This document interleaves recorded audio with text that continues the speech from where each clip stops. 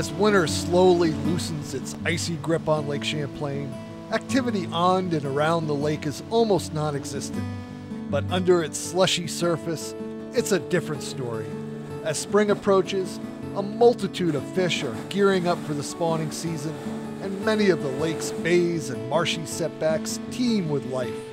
For the Vermont Fish and Wildlife Department, it's the perfect opportunity to begin gathering data for its Northern Pike Management Project. Yeah, that's a that's a good haul right there. Yeah. And some chain pickerel. Looks like we got bass, bullhead, bowfin, Bluegill. bluegill, crappie, a walleye. Excellent. It's a who's who of Lake Champlain fish.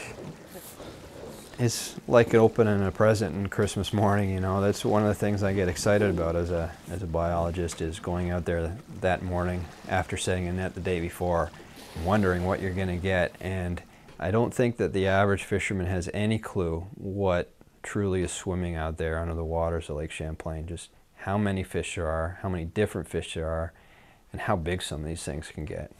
Oh. I had like 30 pounds of fish in there. I couldn't lift it.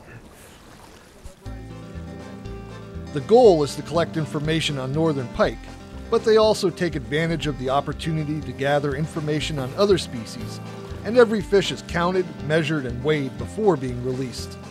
We got a lot of pike this spring with our, our four net sets this year, but we also got you know, largemouth bass, smallmouth bass, both species of crappie, gigantic catfish, carp. It's a great representation not only of just the northern pike that are trying to move into that wetland, but the fish community as a whole of Lake Champlain that's utilizing that area. Solid biological information and a strong dose of angler input are required before any fishing regulation can be changed. Whatever the final result of the pike management project might be, the attention being given these powerful predators is long overdue. If you look at the most recent results of the statewide Vermont Angler Survey, northern pike is one of the top five fish species you know, sought after on an annual basis. In the winter, I think they're, they're second or third. People are, are really getting on board. And so I think you have a more open public to approach now with some kind of unique or different uh, management perspectives on, on the species as a whole and to recognize or realize its true trophy potential.